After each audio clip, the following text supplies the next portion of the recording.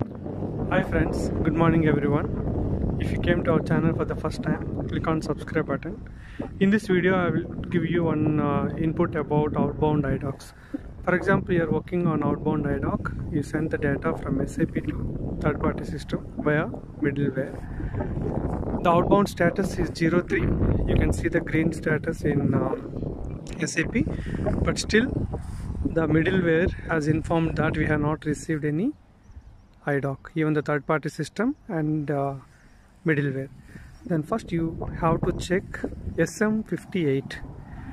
Sometimes because of the overload or different reasons, a error log you can see in SM58. It means SAP 03 status at IDOC level, but it has not reached to the middleware. You need to check the reason and also you can release that uh, log from SM58. Thanks for watching. Have a good day.